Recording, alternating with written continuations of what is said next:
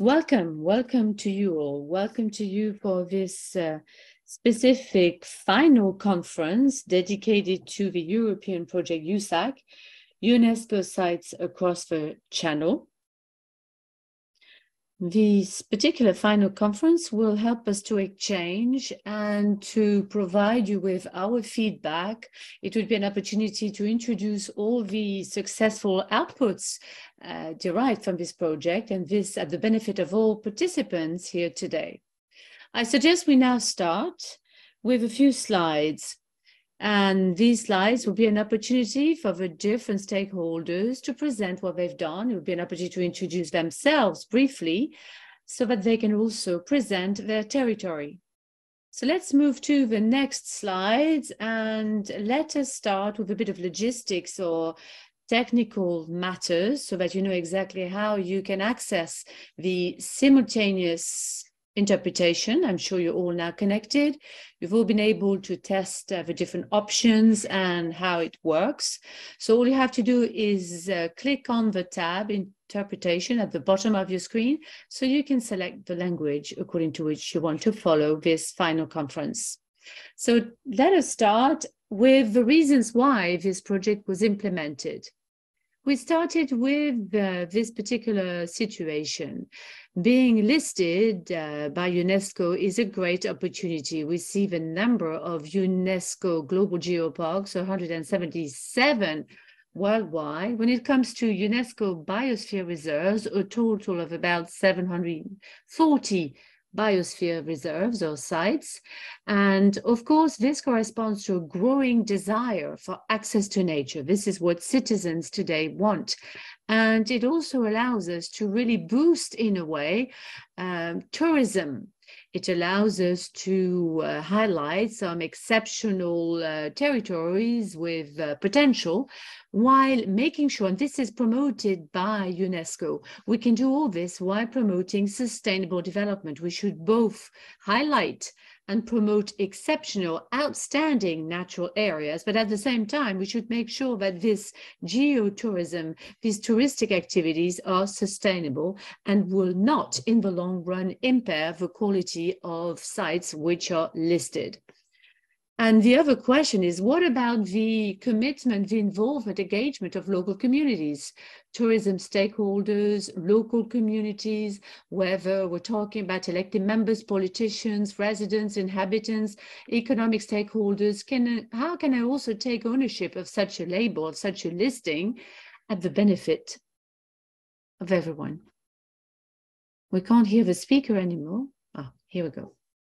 So this was just a brief um, contextual uh, element. Now let's move to the USAC project itself, which started in 2021 and that will end in June 2023. What are the three main actions developed all throughout the projects? They are summarized here on this slide. First, there is the development of new UNESCO sites across the channel.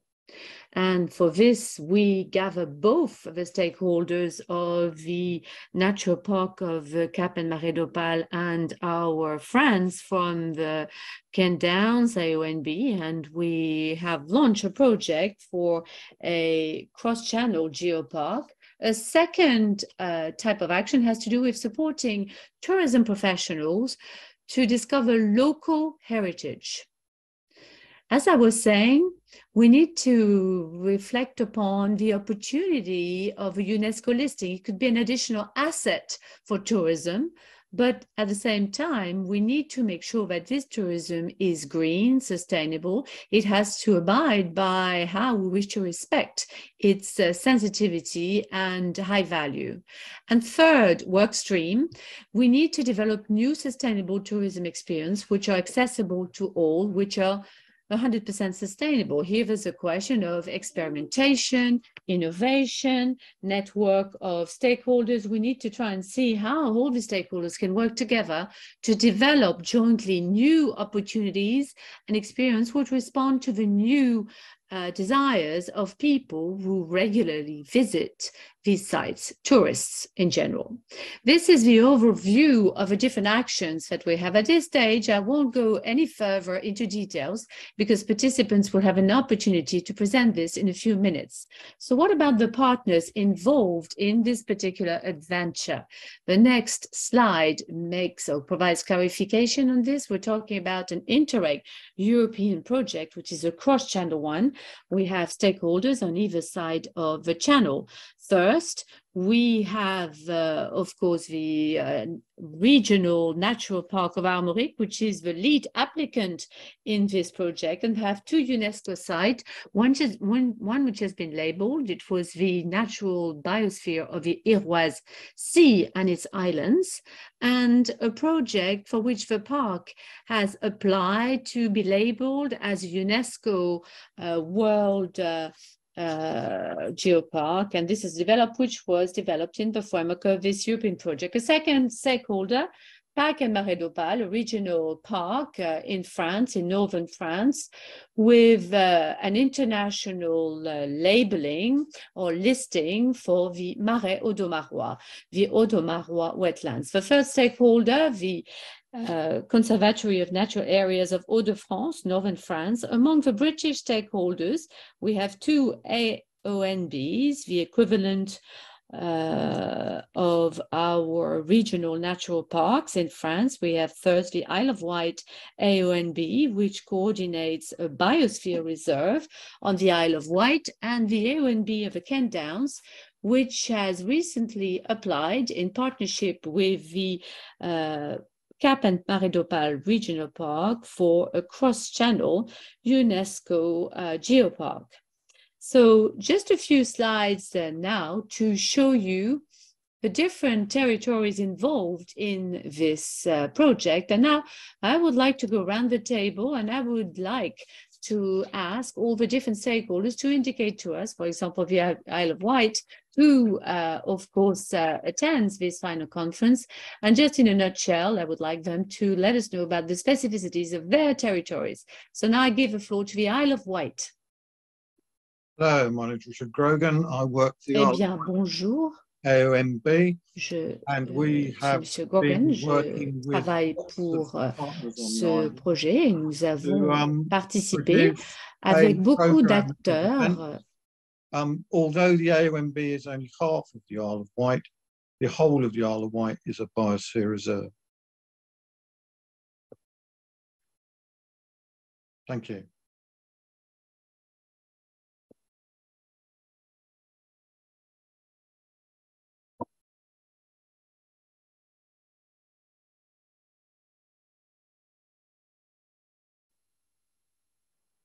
Let us now start to a participant of a Kent Downs to indicate who represent their structure, who are the participants, and just a few words on their territory.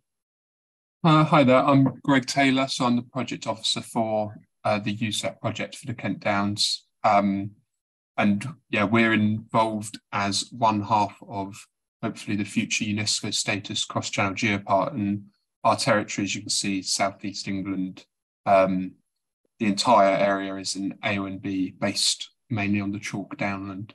Um, and we've been working with the Cap and Marais d'Opale team for um, about 20 years now. So continuing that partnership through this project.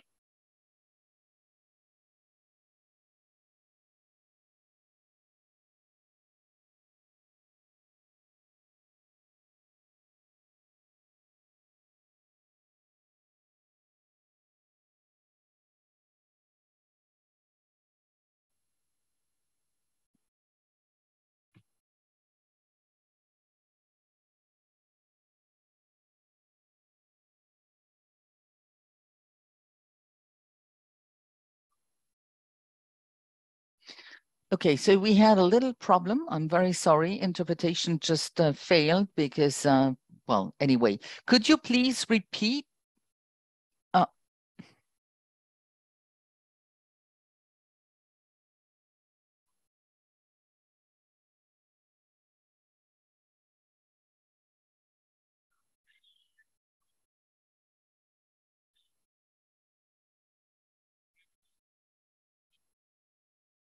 Yeah, yeah, sure. Uh, yeah, so I'm I'm Greg Taylor. I'm project officer for the USAC project for the Kent Downs. Um, as you can see, we're down in the southeast corner of England, um, and the the entire area is designated an area of outstanding natural beauty, which is a similar status to Parc Naturel Régional and also to national parks here in the UK. Um, and the whole designation is based primarily upon chalk downland. Uh, so it's the stretch of chalk that runs through Kent. And yeah, we've been working with the Parc Naturel Régional de Cap Marais d'Opale for at least 20 years now on various projects. Um, and so this is a continuation of that, hopefully with a UNESCO status at the end of it. Wow.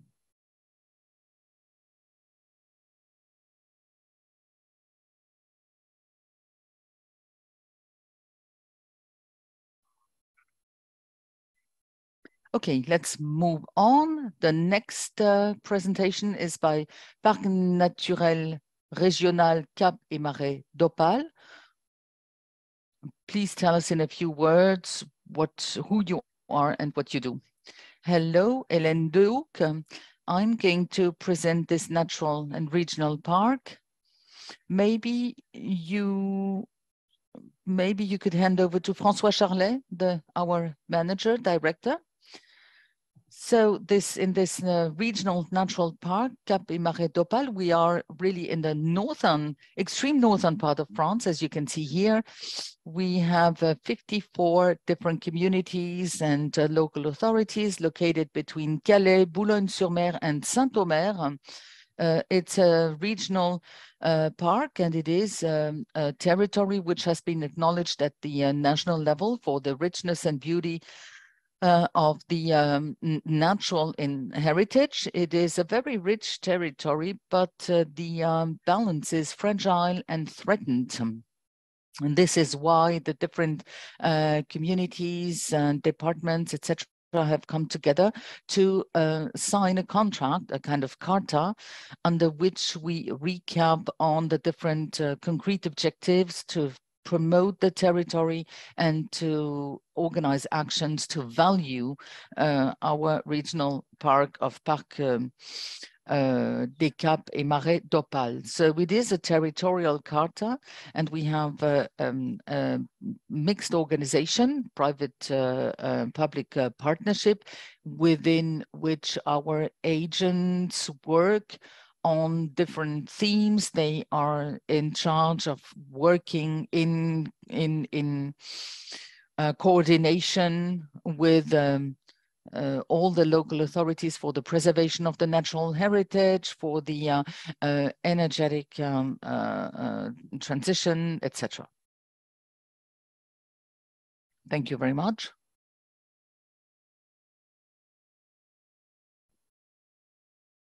Conservatoire d'Espace Naturel des Hauts-de-France is the next one on my list. Could you introduce yourself very quickly? Hello, everybody. Um, I am in charge of the Geological uh, Conservatory for Natural uh, Spaces. Our territory is located in the Hauts-de-France, so it is a bigger region. Uh, than uh, the Parc et Marais d'Opale, and they have asked us to participate in the USAC project, in particular because we are in charge of the uh, action plan for the uh, diversity of Hauts-de-France.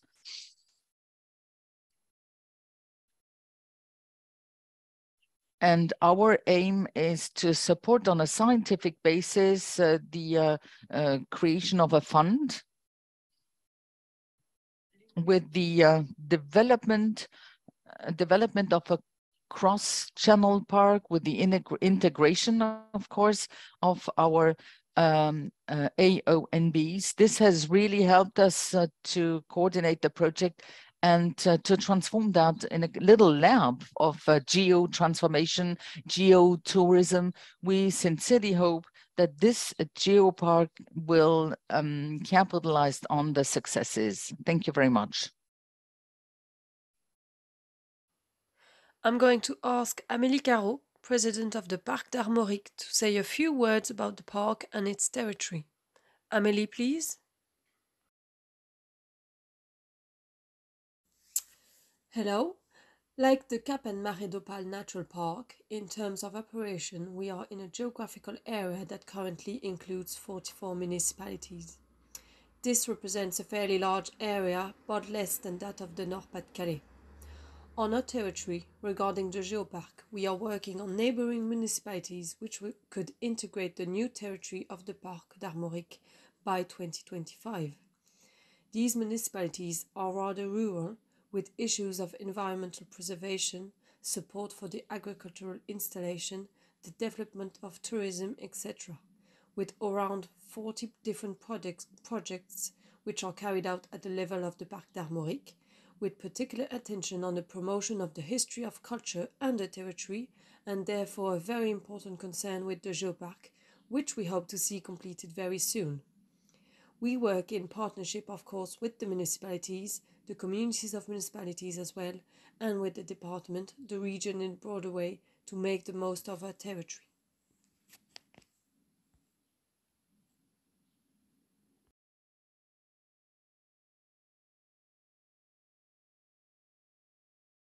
Well, thank you. Thank you now. Uh, of course, I've introduced myself. For those who might have connected themselves a bit later, I'm, uh, uh, of course, uh, the manager of the regional park of Armorique. Noemi, the project manager, has just given birth to a baby just a few days ago. The baby is called Malo and his uh, dad, uh, Jeremy, is also absent. Chloe could not, unfortunately, attend today's final conference due to a health issue. So please, uh, uh I do apologize uh, for their absence, but of course there were there are main uh, stakeholders in project, and later on I will be introducing the main outlines of a project for Armorique.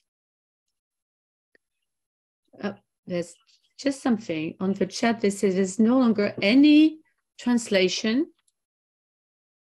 On the chat, it says there's no longer any translation.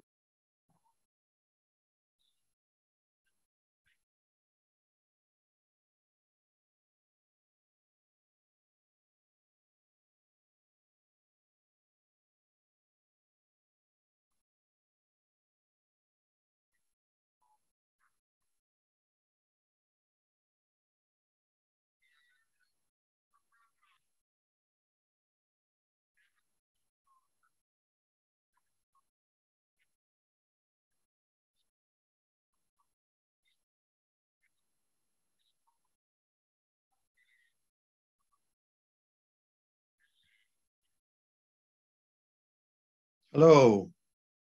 Again, my name's Richard and I work for the Isle of Wight AONB, which is a sort of natural park in the channel between England and um, France. And we've been looking at ways to um, undertake or perform events that can help tourism in our uh, UNESCO site. But the Isle of Wight is wholly a um, UNESCO World Biosphere Reserve. It includes 380 kilometres square of land, which is the island, and a further 535 kilometres square of the sea. So together, the sea makes up more of the biosphere reserve than the land. And we're going to talk today about how we've done some events to help tourism on the Isle of Wight. So your daughter wants to come to the Isle of Wight. So where, and you would ask, well, why? What would we do there? Well, we're going to show you what you might do. Next slide, please.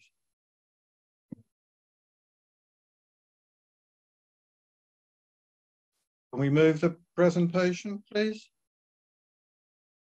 Thank you.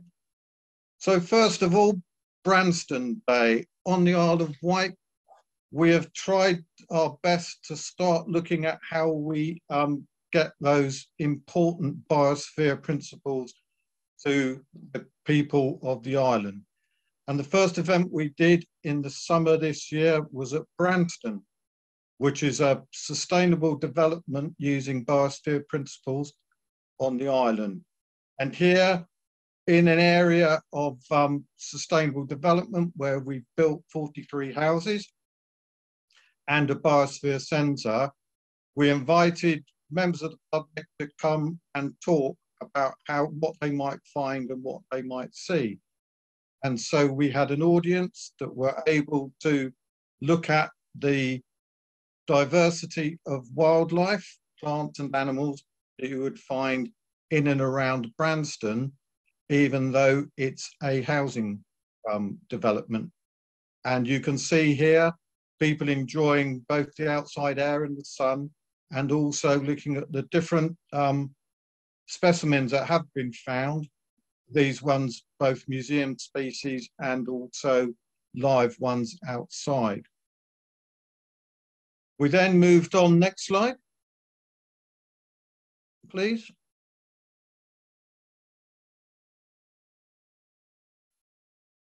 To Fort Victoria. So Fort Victoria is an old fort on the coast. And as you can see, with the um, uh, sea behind the tent, we looked at the marine side and concentrated on the marine side of the biosphere. So here we had representatives from people doing work on seagrass and on um, other marine wildlife in the Solent, which is the channel between the Isle of Wight and the mainland of England. And this, you, this landscape you can see is the Solent. But also we have a marine area in the um, channel in, and we need to talk about that too. So people members of the public were invited and tourists were invited to come to a free event to talk about the work that's being done to preserve our sea life and our shore life, as well as looking at woodland and um, looking at the birds. So there were guided walks and there was also um, displays and as well as uh, artists doing um, lots of creative work around marine wildlife and the uh, marine environment. Next, please.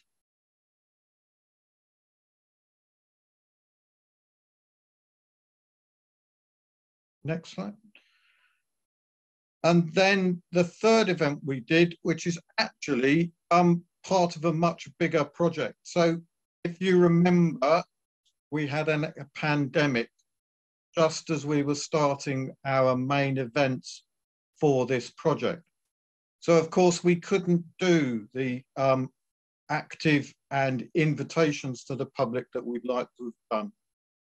So the first hullabaloo we did was a virtual one in the summer of 2020 and people were invited to come online to listen and hear about the arts and sciences of the Isle of Wight Biosphere Reserve.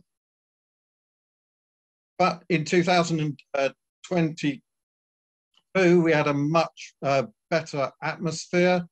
The um, pandemic had been um, much less influential, and we were able to hold a live event. On the 15th, 16th of October, on quite a nice sunny two days, we had the Hullabaloo event in Sandown. This was to invite people.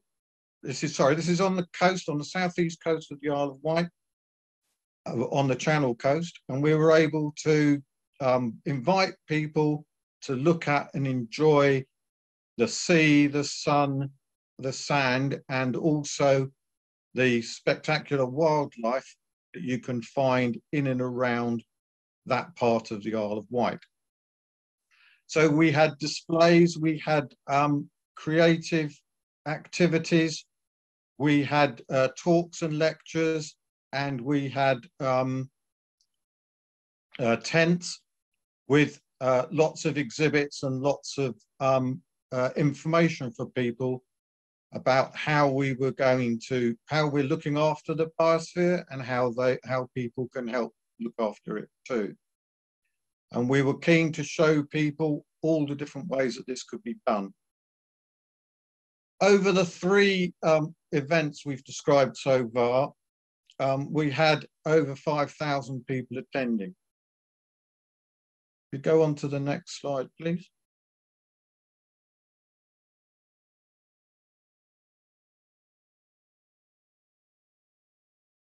Not all of our um, landscapes and spectacular um, sights and sounds are found on the air, or sorry, in the sea or on the land. Some of it is found in the air. And so part of what we were looking to do was to produce and um, explain about the dark skies of the Isle of Wight.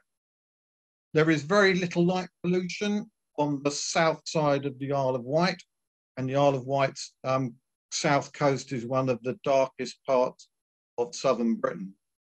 So we um, set up a Dark Skies Festival in February and invited people to come and look at the dark skies, enjoy the dark skies, look at the um, stars, the planets, but also talk about how these dark skies affect our ecology, our um, uh, way of life, and the way that we can keep the skies dark to help um, things like wildlife and for uh, stargazing. And this has produced a possible new tourism product that we can sell to people to come and see the dark skies of the Isle of Wight. So what we're looking to do is with the Dark Skies Association, we want to try and set up a Dark Skies Park on the south coast of the Isle of Wight in the area of outstanding natural beauty. And we're able to set this um, application up using this event because we've taken the audience feedback from this event and are using it to um, help uh, our application for the Dark Skies site. So these major festivals and events were all part of bringing people to the Isle of Wight and for the people on the Isle of Wight to learn more about the Isle of Wight Biosphere Reserve. Next slide, please.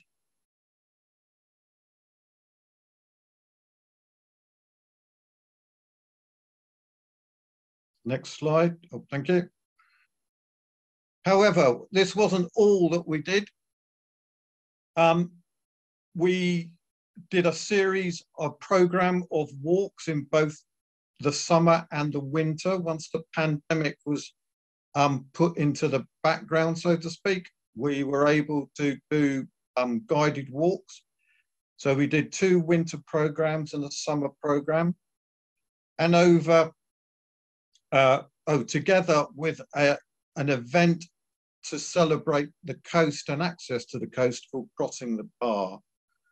And these events attracted over one and a half thousand people to walk and get out into the um, biosphere reserve to learn more about the biosphere, whether it was the local heritage, the local culture, or the um, wildlife.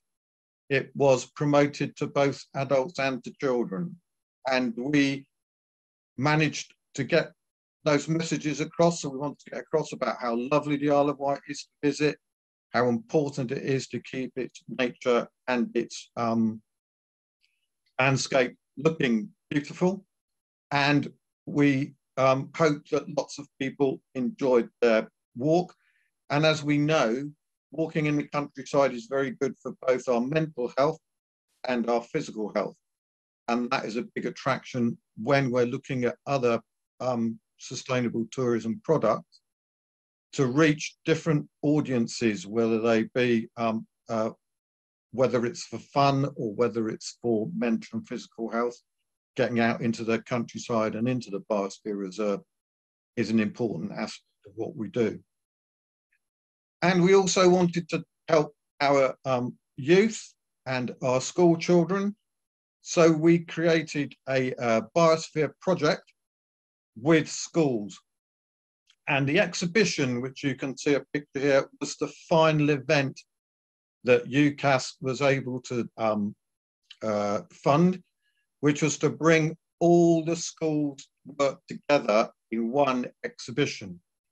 So six schools and six different artists and six different organizations were all brought together to produce the art that you can see celebrating the um, uh, biosphere in all its many different ways using the creative industries. So you can see there are flags, there are pictures, there are costumes, there are photographs, all um, bringing people together. So when we add up the um, events, the walking and the exhibition, over seven and a half thousand people were able to enjoy the different aspects of the um, World Biosphere Reserve through the work and through the USAC funded projects that we undertook. Thank you. Next slide.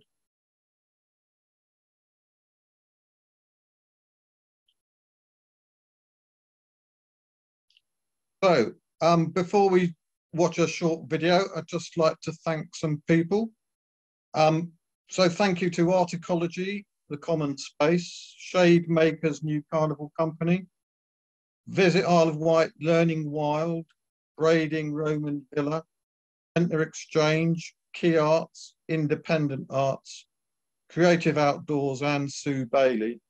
And particularly I'd like to um, Boyd and Chris Land. So I hope you've enjoyed the presentation. Have a look at what Hullabaloo 2022 looked like and um, any questions I'm glad to answer in a minute, but thank you.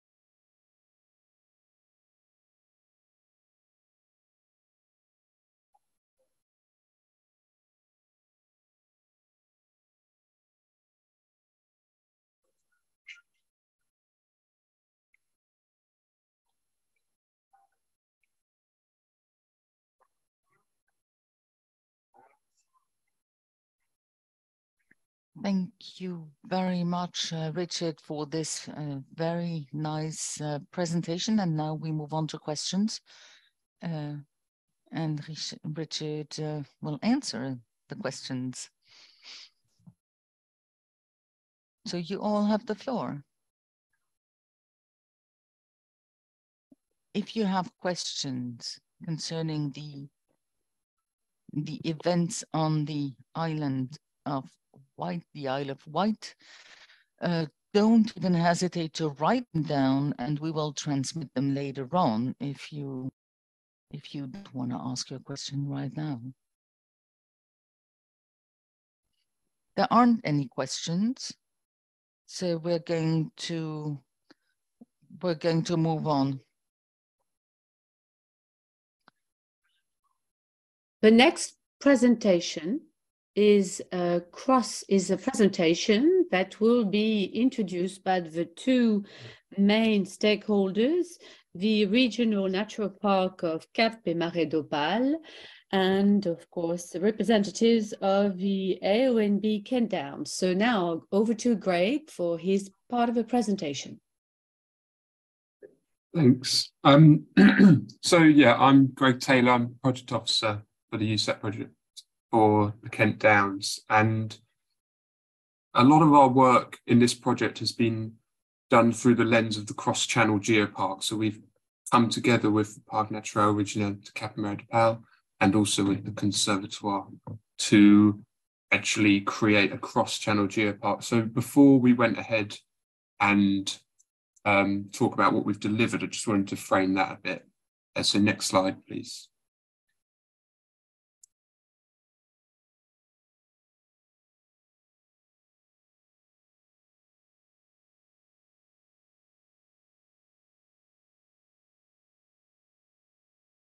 Um, so as I said, as we said at the start, so we're here in Kent Downs, we're an area of outstanding natural beauty, one of 46 in the UK. Um, and in France, we have the Parc Naturel Regional.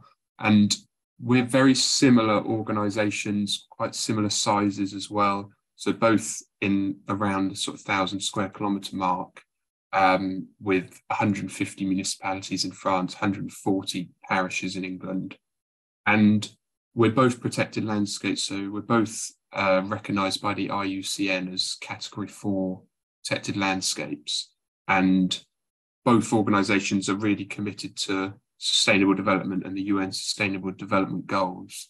So, in terms of delivering a joint project, we're really well matched in bringing forward this geopark proposal.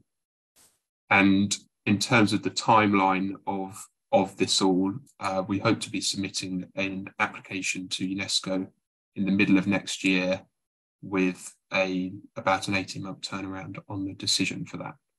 Uh, next slide, please.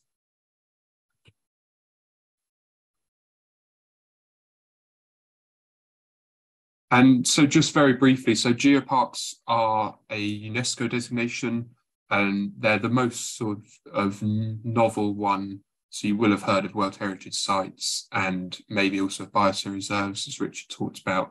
Uh, they've both been around since the 1970s, and there's over a, a, thousand World Heritage Sites and over 700 biosphere reserves. Geoparks are very, very young in comparison. So UNESCO only adopted them in 2015, and there are 177 in the world at the moment, with seven in France and seven in the UK, although that's probably going to change in the next few weeks.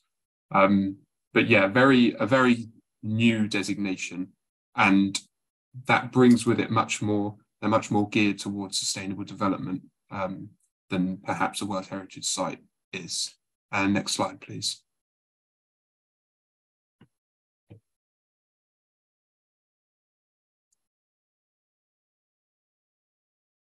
So just to quickly outline what, what a geopark is so this quote is uh, taken from UNESCO. Uh, fundamentally, they're sustainable development areas, um, as a biosphere reserve is as well as other you other designations are. But the geo element is key. So a geopark has internationally significant geology, geological heritage that is the basis for the sustainable development. And obviously, that sustainable development helps to protect that geological significance. So you start with the geology, and then you're trying to tell a story of everything that happens in that geopark and um, show how everything's connected. Uh, so the biodiversity that we protect, and people are probably more aware of how that relates to the geology, but also how our cultural and built heritage is uh, connected to it as well. And the main reason why we've chosen this route uh, together is because we have that internationally significant geology. So the scarcity of chalk, um, the, the story of the separation of the two areas um, to create the Dover Strait, and lots of other unique features. So we really feel we've got a strong basis for that. Um, and as I mentioned previously, we're already committed to sustainable development goals and to sustainable development. So it's a perfect vehicle to continue all of that work. And just a word on the cross channel elements. So there are under 10 transnational geoparks in the world, um, and none of those cross a a physical boundary. So we would be the first geopark to actually cross a genuine physical boundary um, and have a have an actual marine border crossing through the middle of the park. So it's quite a novel approach, but it's been quite well received. And obviously, as I mentioned, the geological significance that Gail will talk about um, actually resides in the channel. And yes, I think I'll hand over to Ellen now.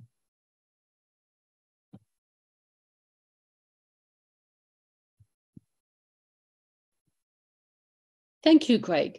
So the UNESCO Global Geopark is allocated or can be allocated to a natural regional park, an association. It can be also allocated to a local community as long as the territory is uh, limited uh, or outline. It's a label which can be renewed every four years, and there are three main priorities or work streams. The first work stream or axis has to do with development of sustainable geotourism. Geotourism, what do we mean by this? It aims at developing activities and products which are geotourism related, sustainable, but with uh, geology as a, gateway to this process. We will try to organize exhibition on geology. We'll have some information interpretation panels, specific trails to discover geology. The second pillar has to do with education and awareness. Here, the idea is to develop educational activities for the general public of all age, of all category. In our framework, we're going to try and draw the awareness of people to uh, this issue of erosion, coastal erosion. We will insist on the sensitivity, fragility of a geological heritage. And the third pillar, number three, has to do with trying to improve scientific knowledge for us, and generally building a geopark must be uh, gathering scientists, geologists to stimulate the creation of scientific research in various fields which have to do with the science of the earth so that we can make progress in the knowledge of the earth and its processes. Next slide, please. As Greg has just mentioned, does the label only speaks about geology? The answer is no. The aim has to do with telling a story. We're going to try together to spread around and send across the message. Geology may sound scientific. It's quite a sharp and scientific issue. So we would like to make sure that this geology heritage is available to everyone. How are we going to achieve this? We're going to create a link, a bond between the geological heritage and the other types of heritage, explaining to the general public why, why we have uh, chalk-based uh, buildings and construction because we have a very chalky ground. We will explain why chalk is very specific in biodiversity because we have a specific flora and fauna which depends on this. So in fact, we want to have a look at what's beneath our feet to understand what's beneath our eyes. This is what we're going to try and translate in all the different activities that we will be organizing, as well as tourism products that will be suggested thanks to our project. Next slide, please. I'm now going to give the floor to Gaëlle, um, who represents the Natural uh, Area Conservatory of Northern France, and she assists us scientifically uh, in this project. Good afternoon. When we started thinking about the creation of geopark, the first thing we wanted to focus on has to do with sort of uh, opportunity inventory. Of course, uh, uh, we wanted to take stock of the existing and we wanted to base our development, uh, our candidacy to UNESCO on the basis of this. Something was obvious. Our territories are very similar. Our territories work together and the idea was to work on the basis of a cross-channel geopark. When we started reflecting together upon what would be this cross-channel geopark, its DNA, uh, of course, uh, has to do with the Strait of Dover, the strait that separates us. And this Strait of Dover has become a link, a bond the Strait of Dover is water. It's a natural border. It's an initiative border But if we look at our history, it is a very recent uh, geological object that we share together. And very rapidly, we thought that we had to make sure that the strait would be the link between us, what would unite us, what we were going to promote uh, to UNESCO as our single line, not an obstacle, but uh, just an opportunity, a connection. Thank you. Now, if we go back in time, and if we look at this particular uh, mapping extract, and if we remove the sea, we can see clearly the continuity of our territories with this huge entity which uh, connects uh, France uh, with uh, Weald. The Strait of Dover in this setting, in this system, is only a page which is 450,000 years old. And we have a story of 400 millions of years. And this is going to be our start on point to start unknitting this long common history so we can tell it to visitors, to the general public, to the stakeholders, so that it becomes a territory which is strong and so that we can um, make sure that our population take ownership of it and echo it. Let me give the floor back to Ellen, my colleague from the Natural Park. And I'm going to give the floor also back to Greg. Thanks. Um, so yeah, the the landscapes that we're both protected for, as Gail's talked about, are based on a common geological story. And so something that's become clear through this project is that the landscapes that we treasure and have sought to protect on both sides are based upon the same thing. And through site visits and through some of these pictures, you can tell that they really are um, extremely similar similar areas. So particularly the chalk cliffs and downland, and also what's called the bocage in France, um, which is the landscapes that we would know um, from the edge of the chalk looking out towards the Weald in Kent. Um, this is our kind of this is what we're most at home talking about as an AONB and as a PNR. Um, next slide, please.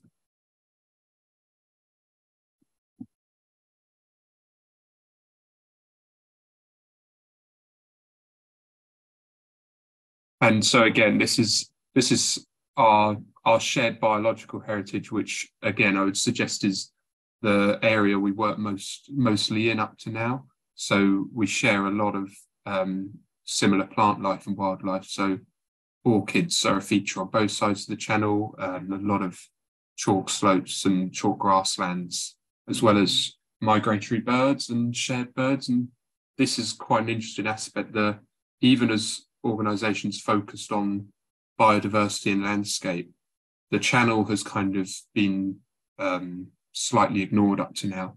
And actually the Geopark project is helping us to look at the channel as a connection between the two and for wild the movement of wildlife between the two as well. So it's even develop the geopark story is developing the work that we already do. And next slide, please.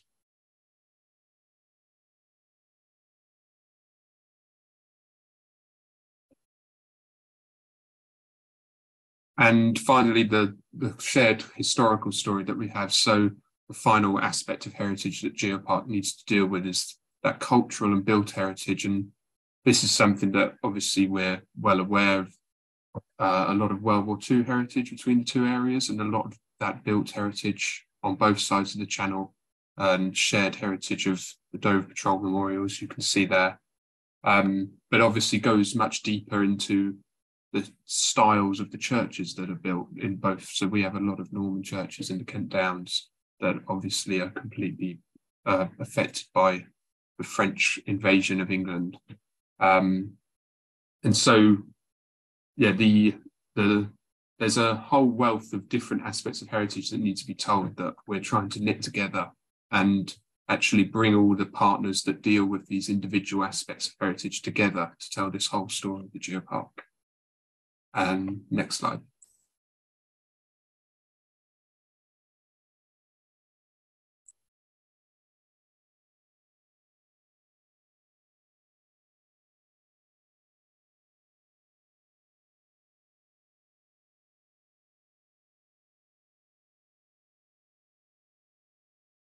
The link between, as we were saying, the link between our territories is really part of the scope. It would be the first cross-channel geopark, which is connected by the channel by sea. And it's a great opportunity for us to tell about the opening of the Strait of Dover. It's a great opportunity to talk about the history of the creation, the building of a channel tunnel, which was impacted by geology. We could talk about shipwrecks, shipwrecks which are all alongside the Strait of Dover. And therefore, for this, we are assisted by our partners from the Marine Park. And in the map that I'm going to be showing you now on this particular slide, the two lines that we have drawn between our two territories were not just sketched like this. No, we really, really have a land-based uh, scope, and we also have this marine boundary, which is part and parcel of our geopark project. Here you have a map which is displayed in the conference on your screen. On the land side, we have kept exactly more or less the same boundaries as the ones we have with the AONB and B and PNR, except uh, with, with the city of Calais, Boulogne-sur-Mer, Camiers, Camiers, which is right at the southern extremity of a natural park on the coast, Folkestone and Dover in the UK, all those towns will be included in our geopark due to their specific architecture that we wanted to promote and highlight in our application to UNESCO. Next slide. And then I will give the floor to my colleague Gaëlle. In order to promote our territory, the UNESCO is suggesting that we set, we uh, define geosites, areas which can be either natural, anthropic, uh, buildings, we might talk about limestone hills. It's not the nature of the site which is important, it is the story it has to tell. All the geosites have to mention geology, but above all, they have to mention the link between the earth and human beings, the link between biodiversities and geodiversity. It encompasses architecture, it encompasses the ground issues, the soil, and in the framework of the creation of this geopark, we have reflected in Kent and in our PNR on a list of geosites. On the land side, the list of geosites is almost finalized. These geosites are uh, spread out in the territory. Some are very close scientifically from a geological, biological point of view. Others are different, but they complement sites on both sides of a channel. And the next step will have to define marine geosites. We will have to define specific boundaries or specific areas that we will be able to promote. That's another step. Different uh, sites that will tell a story about the link between our two countries on either side of the strait. And it will talk about the opening of the Strait of Dover, its creation, its history. So we're anxious, really anxious to work on this particular element uh, soon. And we will be presenting you the results as soon as possible. And so this is the the geopark is the lens, as I said, through which a lot of our activity has been delivered. So in terms of the on the ground activity, working with partners and with the public, we've we've been doing a lot as the geopark. So we had several study visits as part of the project to learn best practice and actually go and visit each other's sites uh, because it's only the Kent Downs that doesn't already have a UNESCO status within the park. So through that, we hosted a study visit each, the PNR and AONB on each side of the geopark. Um, and then in the PNR, there's been a whole program of public engagement events around the geopark. Uh, and there's been volu volunteer work, working particularly on dry stone walls, which are a, a sort of a unique established feature of the cultural heritage, the built heritage of PNR, but have also been shown to be of uh, really excellent biodiversity value. So they actually provide habitats for wildlife as well.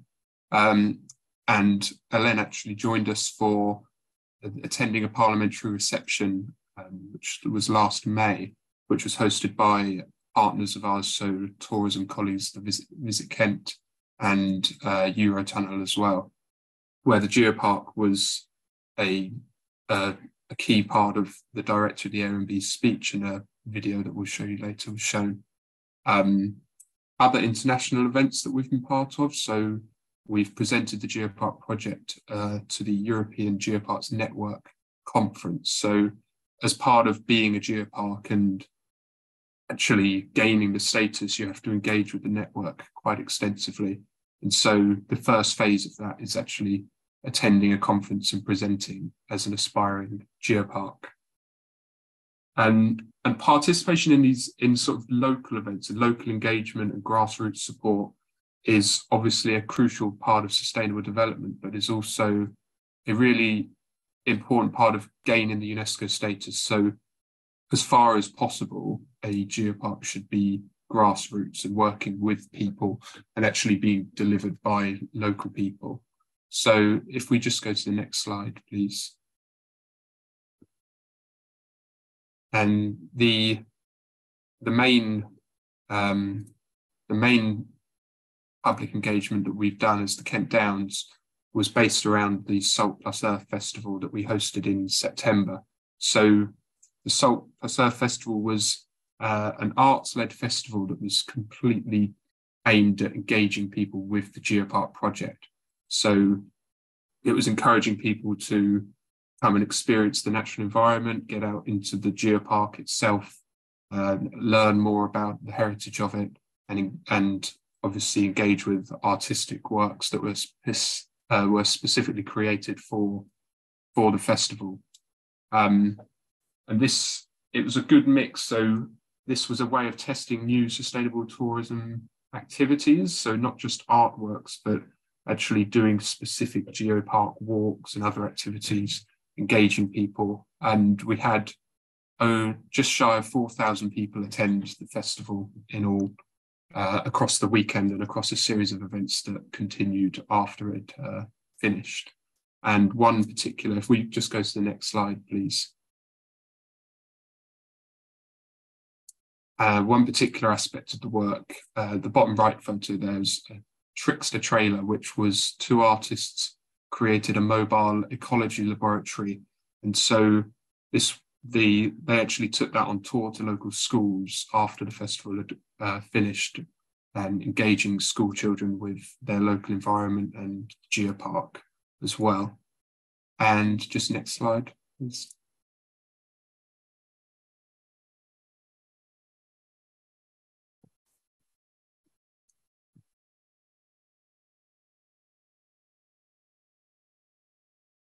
And something that we found uh, throughout this work as the Geo, with the Geopark project is that it's engaging partners and this idea of something that's bigger than the AONB or the PNR and is reaching across the channel has really uh, engaged national and international partners that we maybe previously hadn't worked with or just um, hadn't been able to reach. And as part of the Salt Plus Earth Festival, the National Association of Areas of Outstanding Natural Beauty and the Arts Council England, which is the major arts funding body in the UK, well, in England, um, actually came and signed a memorandum of understanding between them at the festival and at one of our future geosites, Samphire Hoe, at the base of the White Cliffs. And it's just a really good example of how we've been able to reach new partners and engage um, engage these new audiences through the project. I hand back to Ellen.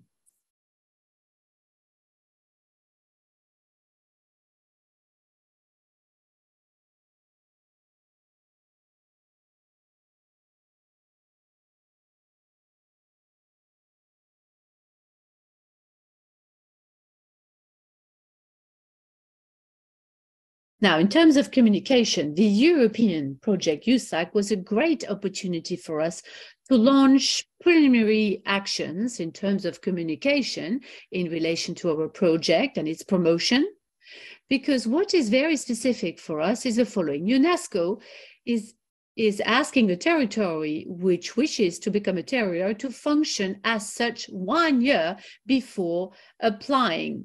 It means that uh, a year prior to uh, filing in the application, governance must be established, activities and uh, tourism outputs need to be delivered, educational programs need to be launched, and communication must exist one year prior to filing the application to listing.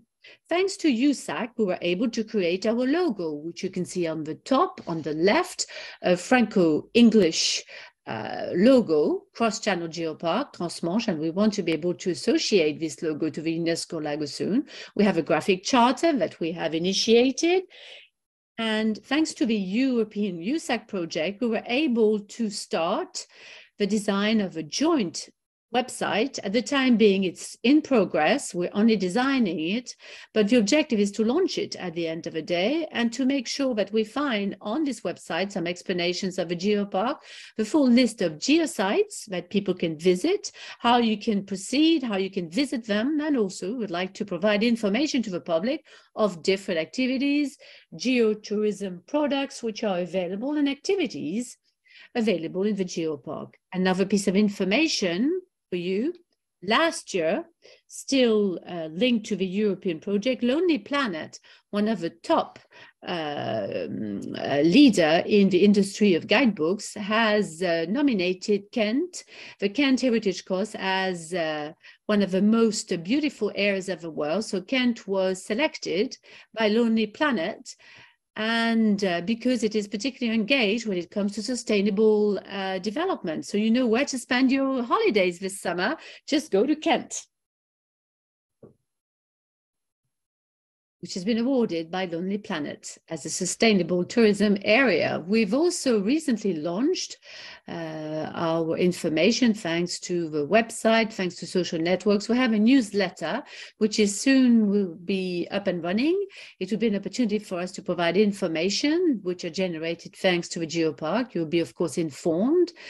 Communication tools have been designed and created thanks to the USAC project tools which have allowed us to strengthen our visibility thanks to different local or international events. And also, just now a short video that we would like to show you, which was designed in the framework of the European projects. It's a video which invites you to discover two territories. It's a sort of introduction video of what could the future cross-channel geopark look like in the future, we want to show that our territories are similar.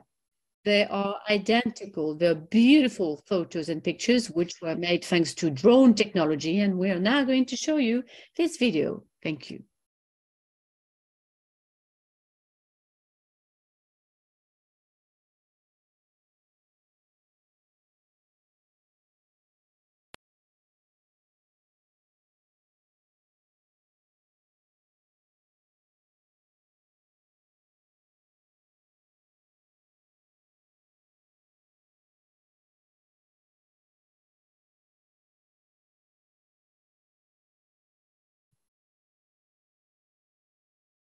Video is about to be launched.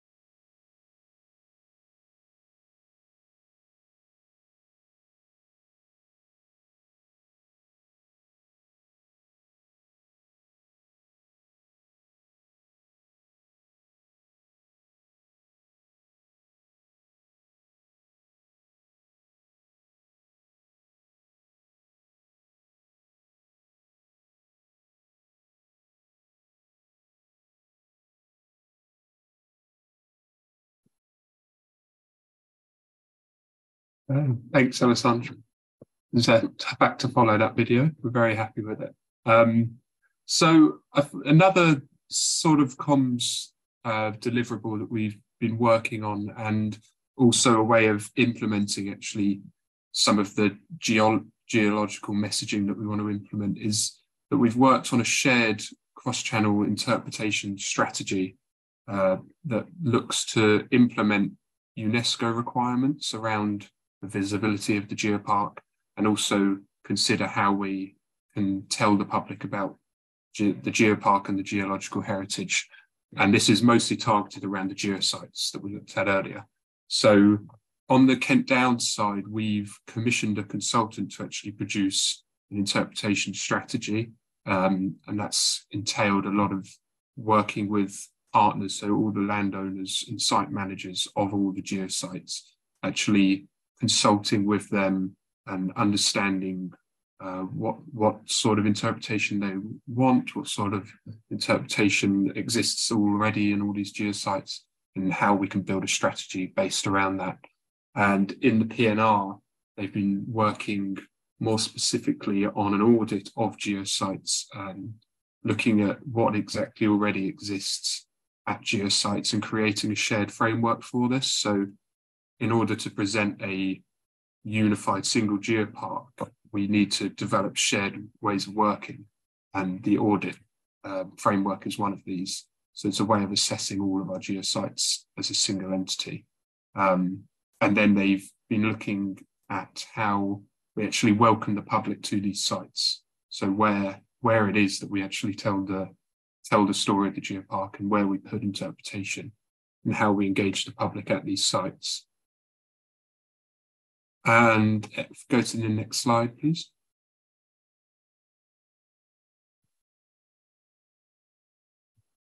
And finally, from me, so we've been working a lot on education and outreach um, with particularly local schools and community groups and tourism professionals. So in the PNR, we uh, created an educational back backpack essentially that um, teachers and other animators can use to actually engage people and particularly children with the geological heritage of the geopark. So that's available to anyone to actually um, go out and educate people about the geological heritage. And there's also been geological training for tourism professionals in the PNR. So people who are running guided walks and other people who are working out in the landscape, working with the public to actually educate themselves and therefore be able to pass on uh, that geological knowledge to others. And in the Kent Downs, our new geo animator um, is working on outreach and engagement. So she's been working very closely with local schools to actually uh, deliver deliver assemblies and lessons uh, focused around geology and the geopark, and has also organised geosite visits. So you can see their visit to Samphire Hoe, which would be one of our key geosites. And Luella, the geo animator, has also been working with community groups. So actually work, working, the photo you can see at the bottom there is working with a community group, uh, looking at how they can access geosites uh, with mobility scooters, um, the accessibility of geosites generally. So working with a whole range of partners really to engage the public uh, with, with the whole Geopark project. And next slide, please.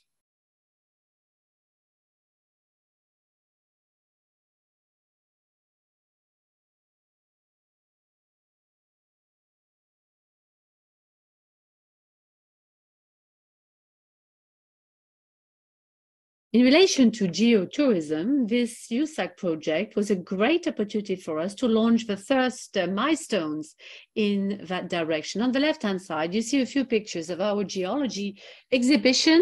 It's called the Cross Channel Geopark, a journey in time, For a year, this exhibition will be available at the Maison des Deux Sites at Audinghen, close to the uh, Cap Gris-Nez, and then it will, uh, of course, uh, move at the benefit of uh, the different partners. And the objective of this uh, moving exhibition is to tell the story of geological history of our geopark, Cross-Channel Geopark, in a very educational and interactive way, which is simple, user-friendly. For example, we have a cabinet of curiosity, which is chronological, which highlights the different geological periods which uh, are part of our geological territory. We make a link between local resources as well and the daily use uh, made of a territory by human beings, such as sandstone or chalk, which is very present what use have we drawn from these uh, resources in the building sector or in industrial activities? We also find in this exhibition something which is much more audio orientated. You'll be able to listen to the testimonies of locals who live uh, both in France and the UK, were part uh, of this uh, geopark. They tell a story about the experience. You'll have another area in the exhibition where you can use tablets uh, with different quizzes and games in relation to geology so that they learn as they play. And uh, you'll be able to discover the exhibition in about three weeks' time now. First in France and then uh, with different partners. We've also worked on interpretation and information panels, especially focusing on geological heritage. In France, um, geopark, the geopark in uh, one in Longfossé, and a third one on the Mont of Calic, uh, which is called in Vieil-Moutier. Next slide, please. Then we're very fortunate, we must say this, in our cross-channel geopark, and especially in France, we have the largest career basin in France, which is the Marquise career area, quarry area. It's a great showcase in the open, which really uh, allows us to understand and uh, let people understand the geological formations in the territory. And thanks to the USAC project, we were able to um, provide um, a panorama over uh, this uh, over the quarries of the Boulogne area. It's a beautiful uh, panorama site. Uh, it has a specific layout. A landscaper was involved, and we've started creating this particular layout, allowing people to derive profit from this beautiful panorama at the end of the day, the idea is also to have a sort of Belvedere site so that people can benefit from this beautiful view over the quarries and to give information on the geological heritage to the general public at this particular spot. Another project, uh, which was developed thanks to USAC, has to do with what happens at Le Wast, at our headquarters. It was a slide just before. Yes, in our headquarters, which is the headquarters of the Cross-Channel Geopark in France, in Le Wast, we've created a photo gallery, a picture gallery of geosites. We want to strengthen, uh, of course, uh, the uh, service uh, made available by this manor house. We want to provide information to visitors on the geopark. It will be a sort of uh, an opportunity for visitors to have information on the different geosites, an opportunity people for people to be guided through geosites as they start their visit. Another project uh, that we have developed, thanks to the Cross-Channel Geopark, is the making of what we call the heritage comics in Hardinghen. Hardinghen is one of the local uh, communities of a geopark on the French side. Hardinghen is not very far from the coast. And we resorted to uh, an artist to uh, design uh, this uh, heritage comics of course, uh, it's about to be finalized and completed soon. And we follow two protagonists, a grandfather and his uh, granddaughter, all throughout uh, four kilometers. We have identified a particular itinerary For this, we worked with the tourist office and the community of communities of Côte d'Opale. And the grandfather is going to be telling to his granddaughter many stories about Hardinghen and the heritage sites of the village. For example, the grandfather would talk about uh, coal mining. Uh, there used to be some coal seams which were developed in the Hardinghen in the past. Uh, he will ask uh, the granddaughter to touch the stones of a church, uh, explaining uh, how the church was built, with which type of stone.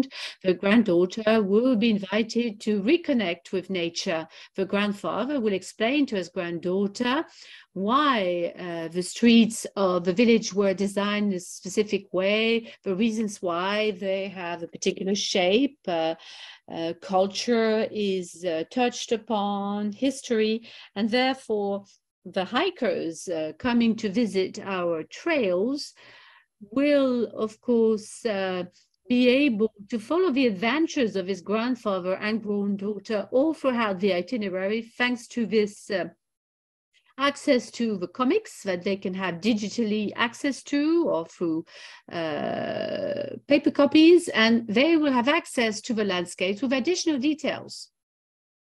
For example, all throughout the trail or itinerary, the two protagonists are going to, uh, of course, follow three uh, uh, little uh, whistles, and uh, it will be very nice. It's a sort of uh, treasure hunt in a way.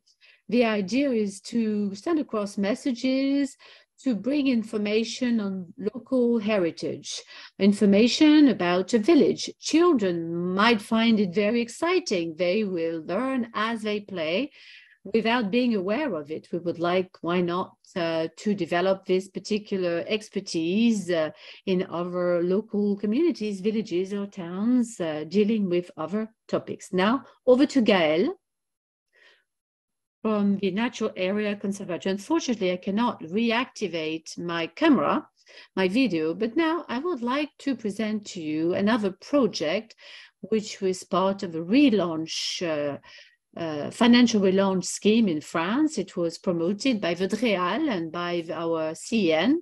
We wanted to develop some educational tools so that uh, geodiversity of our territory is as, is as attractive, as simple as possible, is as fun as possible. So for this, we've worked with about 15 volunteers uh, people from the academic world. Some of them are with us today. Thank you for this. And also some scientists. And together we have produced different videos uh, on issues connected to the geology of a geopark. When the geopark became cross-channel, those tools uh, needed to be uh, translated into English to be bilingual to serve at best the Geopark project. For the time being, they're only in French, but we want to extend this further. They need to be translated so that we can share the message with visitors. So thanks to the USAC project, we were able to translate these uh, small videos, and we're now going to show you some of them. The opening of the uh, Calais Strait.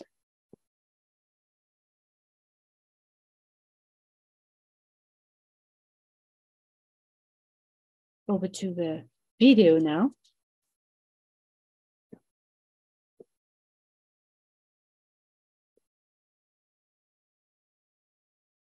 L'ouverture euh, du détroit de Douvres, Calais Douvres.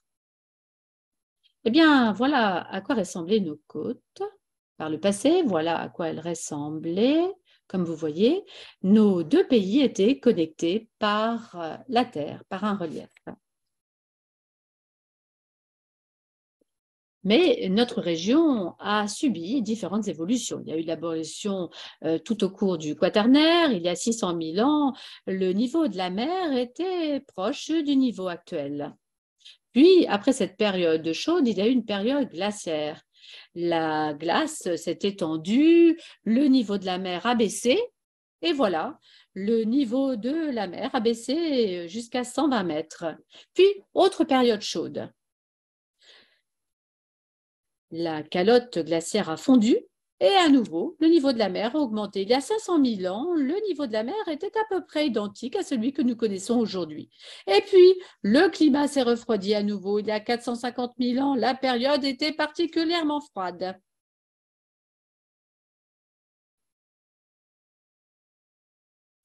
Les eaux ont, les eaux ont fondu, les glaces ont fondu, le climat s'est réchauffé à nouveau, la glace a fondu et un lac s'est formé.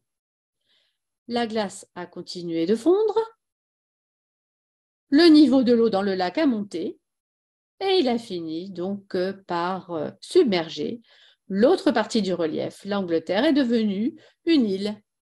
Nous étions séparés par un détroit. Le détroit de Douvres était né.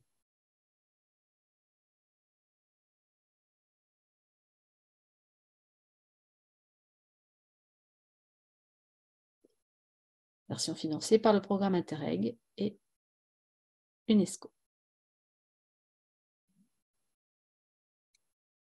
The idea here was to start with what our partners provided us, and we wanted to work with the professional illustrate to make sure that this would be accessible, that this would really be something which is very close to visitors so that they could benefit from the geopark and this particular version, English version of the video really allows us to approach better different uh, target groups when they come to visit the territory. Hope that you've enjoyed this uh, fun video explaining geological changes. Well, thank you very much. Thank you very much to all um, speakers for this presentation, Greg, Ellen, and Gaëlle. Thank you to all of you. Now over to questions. Questions you may wish uh, to ask uh, to the project officers and managers this project. We need to really praise the very innovative and daring ambitions of this project. Such a, a geopark and such a project is really unique. There's a question on the chat. Would Greg, could Greg please um, Yes, yeah. Look at this question, and could you please uh, try to answer the question that you have read in the chat? Greg, over to you. Yes, so uh, thanks, Maxwell. Um, we, the answer is that hopefully in the next coming, in the coming month or two, we will be, we've applied to the Heritage Fund for continuation funding for the Geopark project. And within that within the Heritage Fund application, um, it's it's actually really geared around engaging as diverse a range of audience as possible from not just the Kent Downs, but the communities surrounding it. So that includes London um, and the Medway towns. In terms of other parts of the UK, um, I don't think we've I don't think we've thought about that too much, but we we um, we get incredibly high visitor numbers from other areas of the UK and obviously from international as well. So the a big part of this is the interpretation strategy that's being created at the moment. Um, and these where we tell these stories, the audiences that are visiting particular sites. Um, and as I say, hopefully the Heritage Fund, hopefully the Heritage Fund project will allow us to do much more of that. Uh, so I hope that answers your question. Um, and sure we can be in touch by email, Maxwell, as well.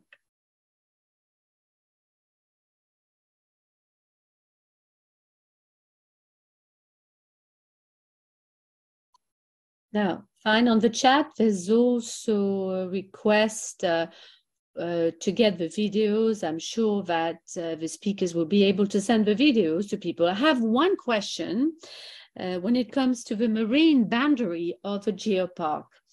It is this marine boundary which is the subject of uh, quite intense economic activities, whether we talk about fishing, whether we talk about the maritime transport activities. How do economic stakeholders, especially the maritime stakeholders, welcome this particular geopark project? Have you discussed with them?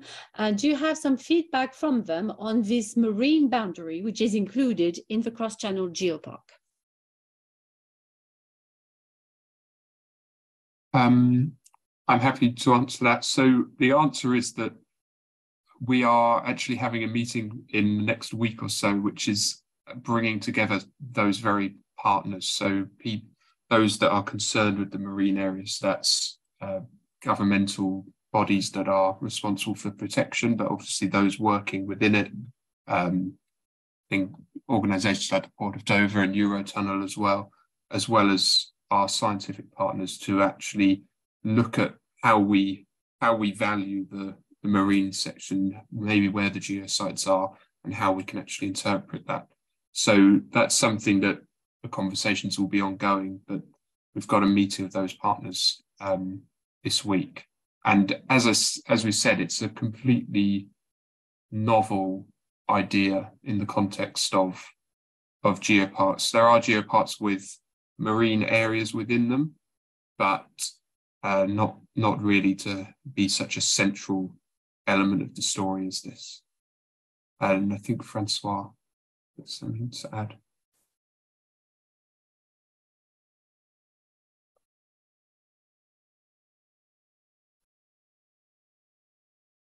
Merci. Thank you, Greg. Now, I just would like to add to what we've just said that we are fortunate to have the Committee of the Straits, uh, which is in this particular scope. And as Ellen has rightly said, the Marine Park as well.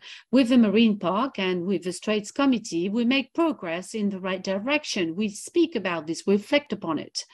Of course, our friends from the Kent Downs have already started the process, especially the Port of Dover, a major stakeholder we will be moving step by step. First, uh, we will need to develop this uh, approach, this scientific approach, which is particularly important, but then we'll be speaking to different partners in the months to come. And this should lead us, uh, this should result uh, uh, with different exchanges with the Straits Committee let us say that we only have very positive uh, echo when it comes to the interest that uh, people may have for uh, the inclusion in the geopark of this marine boundary. That's great. Thank you very much for these clarifications, Francois, and thank you to Greg as well. Now, do you have other questions maybe in relation to the cross-channel geopark, either in the chat or you may wish to ask a question verbally as well. You don't necessarily need to use the chat. Are there somebody who has just raised uh, his or her hand? We can take the question.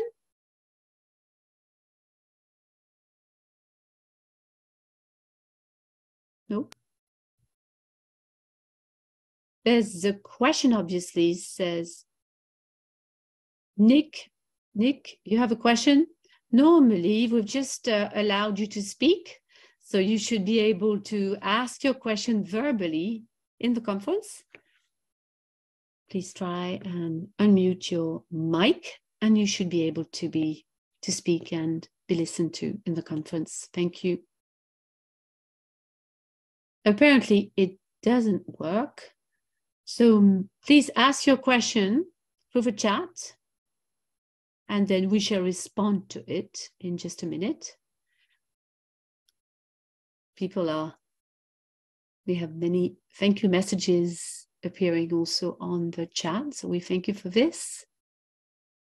Please do not hesitate to uh, make comments on the chat. Of course, we'll be sending your remarks to the project managers and we shall ask them to provide you with a swift uh, response to your questions after this final conference. Let me now continue the presentation. Okay. To I'm, present. I'm now going to tell you a little bit more about what has been done by the PNRA, the uh, Natural Regional Park of Armorique, um, aiming at the uh, UNESCO uh, label. let's share the screen and so you see this is a picture of one of land, uh, of a landscape of the Mont d'Arrée. The uh, uh, president of this Armorique Park, Amélie Carreau, mentioned that before.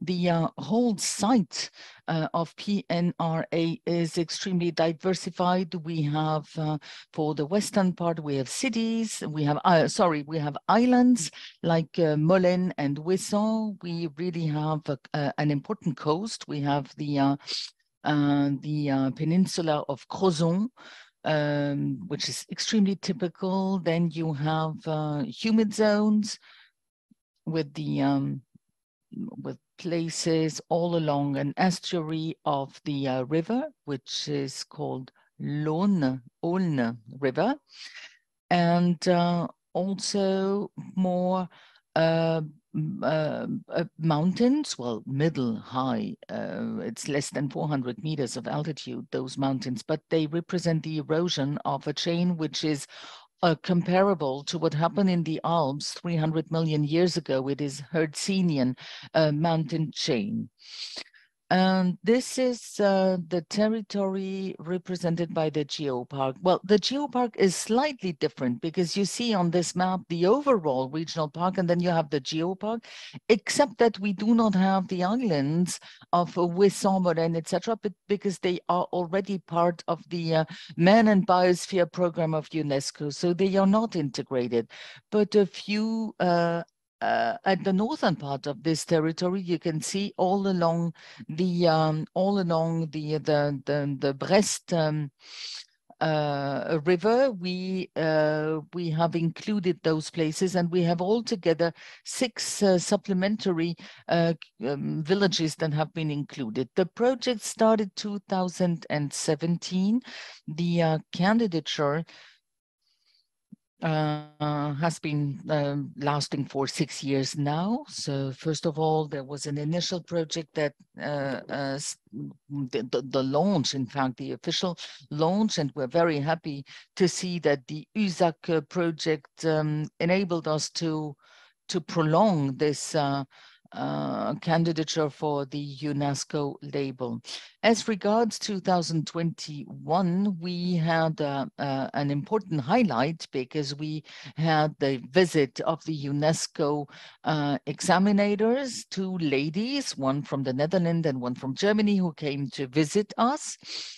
Uh, unfortunately, um, they they could not come earlier because of the pandemic and they could not come later because of other things. Anyway um, we um, presented very officially the candidature and they um, they they suggested and recommended that the park should um, uh, set up um, a little bit more uh, more actions for the candidature, in particular to make the geopark become a little bit more visible upstream the labelization.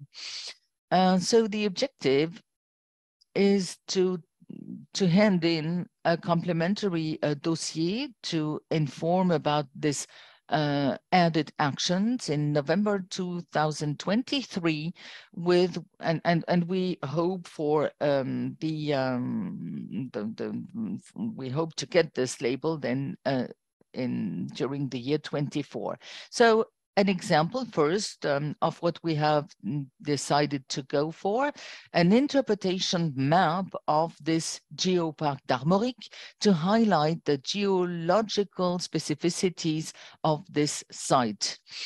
Um, there are really some specificities, the attractiveness of the territory, uh, be it for the biodiversity, for the geology, for the uh, um, uh, the heritage of buildings, etc. On this map, you have all the different sites, remarkable sites, let's put it that way, of this geopark, and also historical places, uh, really part of the uh, of the heritage and sites of particular uh, interest.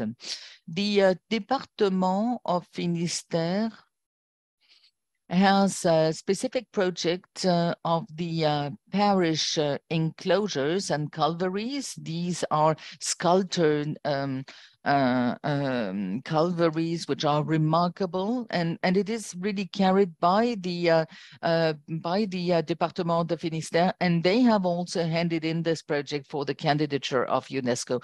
But it it but they are connected. Obviously, we share the same territory. An important work also has been done on the so-called interpretation panels um, because we want to demonstrate and to show what the geological specificities are and explain why it is remarkable, why it is of international interest.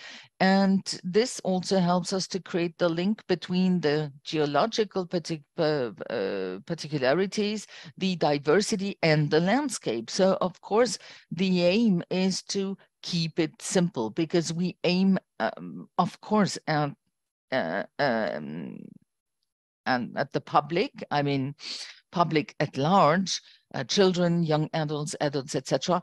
So we have decided to translate also in three languages. Um, it is in English, of course, because our English uh, speaking friends are important to us, but also in Breton, which is the local language spoken in Brittany by those who speak Breton, not everybody. So we have uh, called upon a third-party company for the to work on the content. We have worked with a geologist specialized in in in this language and and and the content for the public. We're going to have 12 panels which are going to be produced, and we have moved on quite well, and they will really cover the whole territory that we uh, talk about. On the next slide, we uh, have been working on what we call the three houses of this geopark. So we have three houses, one which is uh, which is the, the, the main place at the Menez Meur house, which is the place where we uh, inform about the geopark in general, where you can see the landscape, animals, diversity. Uh, you um, uh, the domestic fauna, local and, and flora. Then we also uh, have a farm, which is part of it, but this content is going to be enriched. We have an exhibit, etc. So we will enrich uh, this information, but let's wait for the slides. We have the House of Minerals, which is located in Crozon and um, which presents information on geology of the western part of this territory, of this geopark. Um, this um, House of the uh, Minerals um, uh, um, is is is working in cooperation with geologists, and they really help out. They help to organize the messages, um, um, messages um, again, which are kept as clear and simple as possible. School kids, um, adults, etc., but also students uh, from Brest, and not only Brest, by the way. And then the last uh, one of those uh, three houses is the Museum of the Strawberry and Heritage in Plougastel-Daoulas. It is not very far away from Brest. And again, uh, and here again in the uh, coming month and years, of course, we are going to enrich this place by geology. The first one to be ready will be the uh, the, the House of Menez Meur. Uh, which is located on the uh, village of Hanvec, which is really um, the one at the center almost of this park. So this is to show you the new scenography that we have imagined for this House of the Menez Meur. This is an abstract just of a geological map showing on a, on a watch face the equivalent of um, well, the whole historical development of our planet Earth. Of course, I'm not going to dwell on that, but you see that uh, at half past six, we still have only marine fauna. so it shows that um, as, as far as the life uh, in the water on Earth, etc. Uh, well, we have to, to, to deal here with a very recent history, you see, but the geological history, that's something completely different. 500,000, uh, five, 500 million years, sorry, uh, ago it started uh, we have the volcano development. Then we have uh, 300 million years ago, the creation of the Hercynian mountain chain. As I said, it is almost the same size of the Alps. And for the last 100 million years, a long process of erosion that has transformed this chain into, into something which is uh, Le Mont d'Arrée, as I said before, less than 400 meters high, but still a very remarkable landscape with geological uh, specificities. There is a second place where geology is particularly visible. It is the uh, peninsula of Crozon with um, cliffs uh, all along the, uh, the the the sea. Geology is really visible. I mean, it just takes a little piece of information to understand that it is a remarkable site. Um, we uh, have uh, decided to train uh, people, all kinds of people, all kinds of actors, be they part of uh, local authorities, um, tourism, um, uh, guides, uh, agents working on this geopark. Um, those um, training sessions are quite short, half a half day or one day, sometimes even two days, with uh, of course uh, excursions on on the spot. So we all we we we had already uh, the first um, training sessions in 2021 uh, extremely successful. The first uh, uh, well the the sessions organized in 2022 were extremely successful again. Uh, people are very happy. Some people come back um, actors local actors uh, representing associations etc and we will of course do the same this year. The um, Geopark project has uh, decided to go for the labeling of the people we call geo ambassadors. They will act as local uh, relay people to present about to present the place, to present what is going on, what is remarkable, etc. And um, this is particularly interesting. This is something that we value a lot.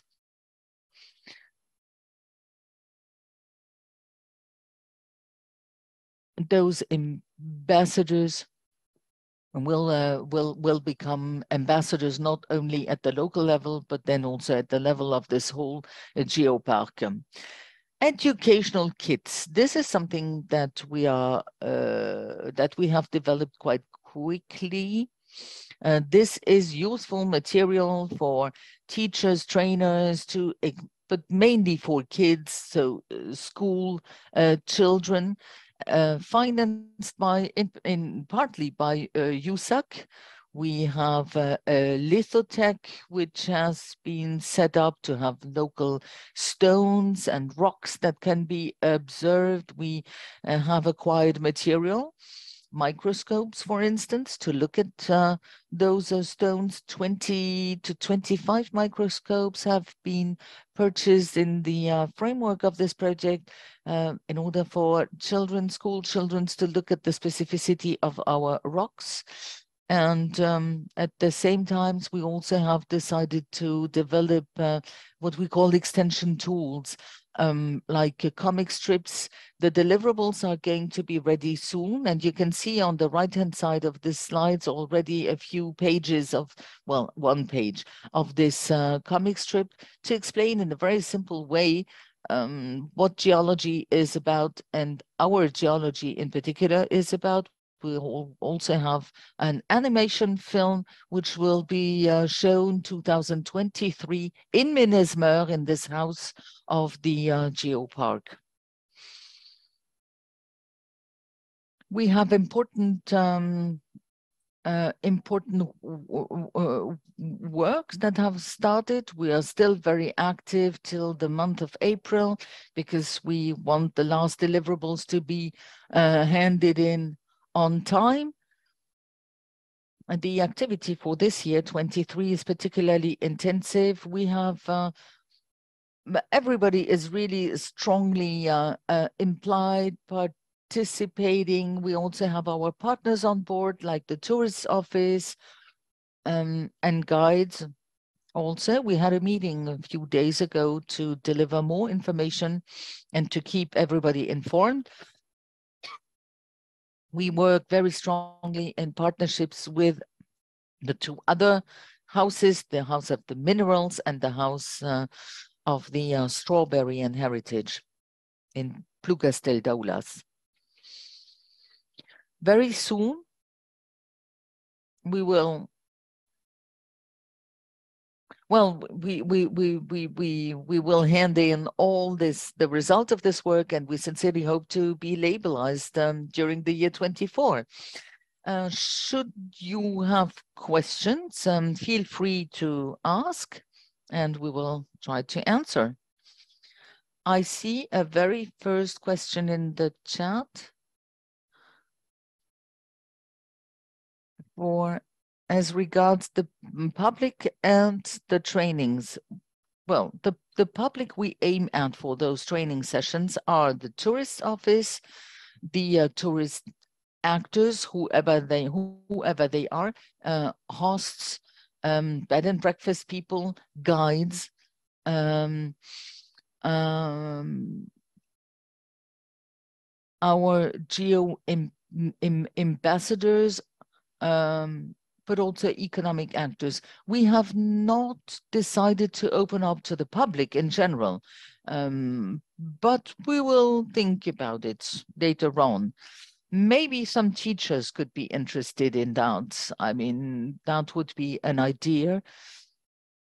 We also have uh, craftsmen and women uh, who have already been trained um, some people really uh, uh, well, uh, pot, uh, some people working on potteries, you know, uh, or on on how to recycle plastic material.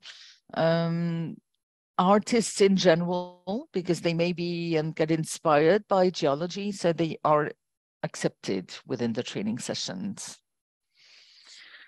Do you have more questions? Of course you, you you can just raise a hand and we will we will you open your mic and you can raise the question if you wish so. But you can also write it down. But i i can't see any any questions so far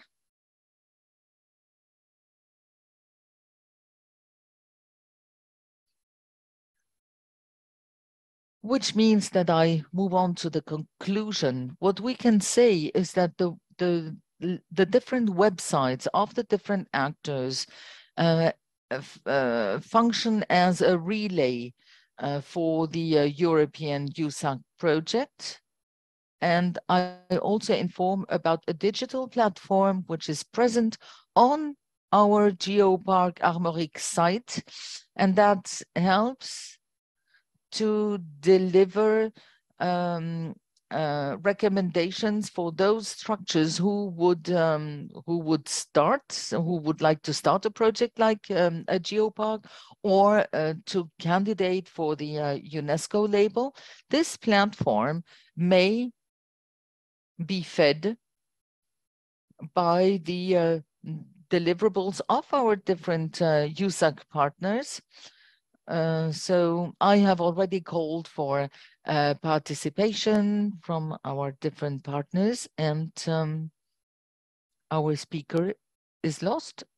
no, here comes again. So you, you, you could, for instance, deliver your conclusions or your different reports, and this will really feed the platform to work on the uh, um, on the possibility to replicate and to transfer this work which is being done. a work which is precious, not only for us, but maybe for other people. Uh, Francois has asked for the floor, so I'm handing over to Francois. Thank you very much, Jean-Francois. Yeah, I just mm, I, I would like to insist or to relay on what you said. It is always a little bit delicate, if not frustrating, to sum up uh, so many months of, of, of common work, uh, despite the fact that we make presentations which are uh, brilliant and, and particularly rich. Uh, but you're right to stress uh, and point out how important this database is and that all the partners should use it.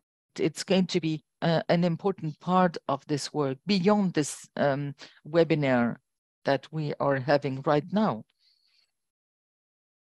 So you are really kindly invited to look at this material um, that has been uh, developed thanks to this Interreg uh, project. And I also would like to say that this uh, Franco-British or British-Franco link is particularly uh, important. I attended uh, the uh, restitution seminar of another Interreg project based on nature, uh, and all the uh, and all our British partners expressed the fact that they that that they were frustrated because well they they want to go on working together and at Cap et Marais d'Opale uh, all our elected uh, representatives politicians partners and in Kent all the people are so um, well, so happy about this link, which is not just a link between two coasts uh, with a channel in the middle. Uh, so I would like to thank again all those who participated in this project. Thank you very much, Francois. On my side, I would like to thank all the uh, participants. I think the um, uh, unfortunately, I could not participate participate personally in all the meetings. I kept myself informed thanks to Chloe, Noemi, Alessandro, Jeremy. They they all told me about what was going on. I also looked, of course, uh, uh, at uh, the uh, deliverables. Um, again, the uh, collective participation and attitude was extremely good uh, everybody behaved very constructive. It, we had fluent exchanges. We um, this this was really a pleasure so far. And as the project lead, I really would like to thank from the bottom of my heart all the participants and all our partners uh, for their efficiency, for the quality of the production, uh, uh, we we we saw that today, and there are many other things that you haven't seen right now and so far, which are extremely qualitative. So, so it is a um, it is a collective thank you for all this and what is to come. Amélie,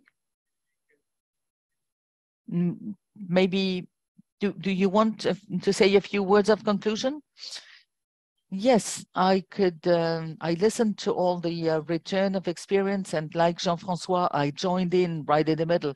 So I really would like to congratulate all those who worked before I joined, and um, and and all the visual material is really extraordinary. I'm very happy with that, and I also agree with Jean Francois as regards the good uh, uh, cooperation that we had and the fluid link between all the teams and the partners, which is really positive. And it's always very nice to be able to say that it works very well, that the connection between the territory is positive, because we all want to value what we have. And uh, when everything matches, it's wonderful. And, um, it, it, and it becomes a, a vector for success. So I wish you to get the label, of course. uh, it also reflects upon the values that we have within our parks, culture, heritage, projects for young people. We mentioned young people. This makes sense, you see, for them. To, we we we want them to take over, to to act as relays later on, to talk about it in their families, that tourists talk about it. So congratulations, and I wish you all the best uh, for the uh, remaining uh, uh, journey. We haven't mentioned so much the technical and administrative uh, part behind that. Thank you very much, Alessandra and, and the teams, um, because uh, it's, it's very important to have this backup. We also have the accounting office, which has done an enormous effort um, working on the grants, etc. So thank you very much. And we appreciated all those ideas also about the platform that we will share. Thank you. Thank you very much, Amelie. And indeed, uh, we would like to thank all the organizers for their efforts. And the organizers of the meeting also. We have a few technical problems, but despite that, we we we could say what we had to say. So again, thanks to all. We hope to see you soon again.